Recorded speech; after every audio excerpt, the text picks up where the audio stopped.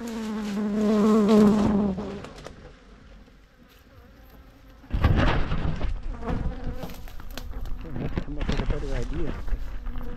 Get this off, these bees are swarming like crazy.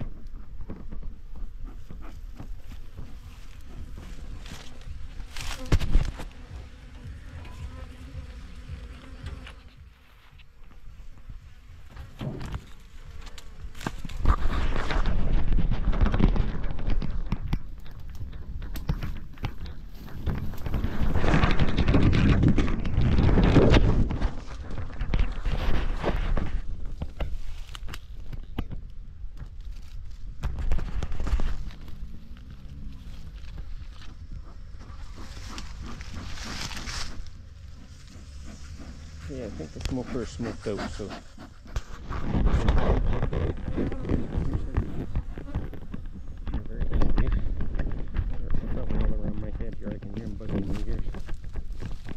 had to do is we gotta take the uh, top off this and put it on there on top of there. I couldn't get that off. Two honeybees.